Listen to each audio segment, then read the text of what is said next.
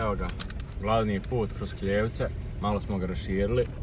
Prošli smo s onom mašinom što melje živć, evo vidite. Znači, s obe strane jedno od 40 centi.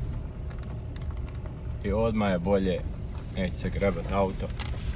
Mogu se auto razmijeniti. Radili smo dva dana. Sad ovi malo što imaju bolja auto da se ne boje doći u Kljevce. Nećete ogrebat, ne bojte se.